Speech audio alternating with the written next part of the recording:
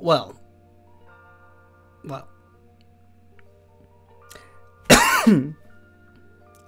I've only seen the first actress you mentioned. I saw a little snippet.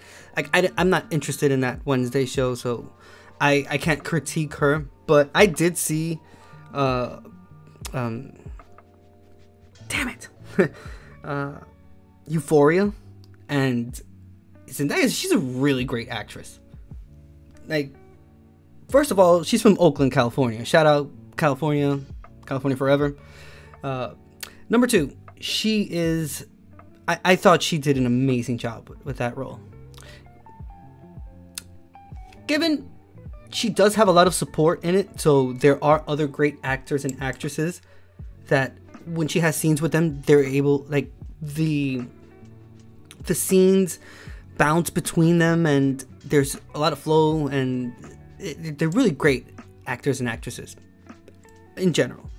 But my personal opinion, I think she's I think she's phenomenal. I don't think the Marvel movie did any justice. She the her portrayal of that young uh uh what is it the, the pixie queen the pixie thing i i can't i'm not i've never been a fan of that shit but when she has done like roles outside of that she's a she's a great actress. I'm gonna give you an example of someone that started off kind of on a wrong foot, but if you really check out her filmography, you can actually tell that she's a really great actress. Dude, Kristen Stewart. She started with the Twilight series. Whatever. I give two shits about that. I think that those movies were those movies to me are extremely overrated, and I don't think that they were any good.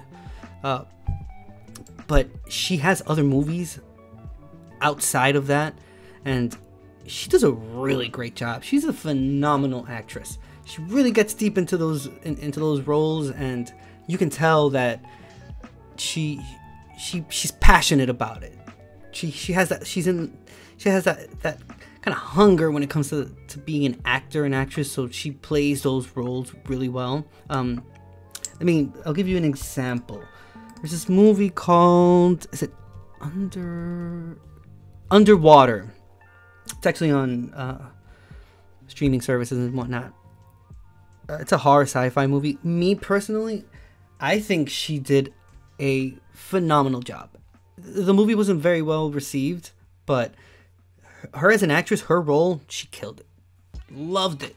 So I think maybe that's she's maybe your opinion about uh oh looks wise well I don't know. I, I I don't really care about that to be quite honest with you. I'm uh,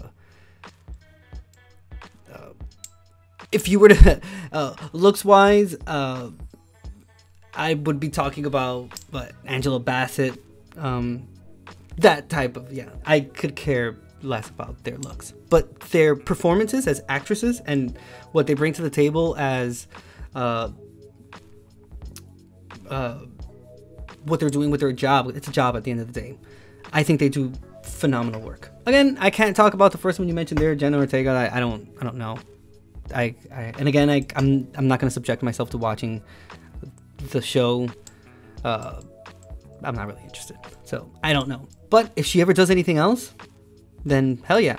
Now, you need to remember one thing. Um, Euphoria is A24. Um, if you know me, well, you don't, but if you don't, uh, if you know, if you don't know now, you will know. I'm a huge A24 fan. I, I'm completely convinced that that is the best production company right now. Uh, the fact that she is also going to start doing uh, Zendaya is going to start doing more A24 films.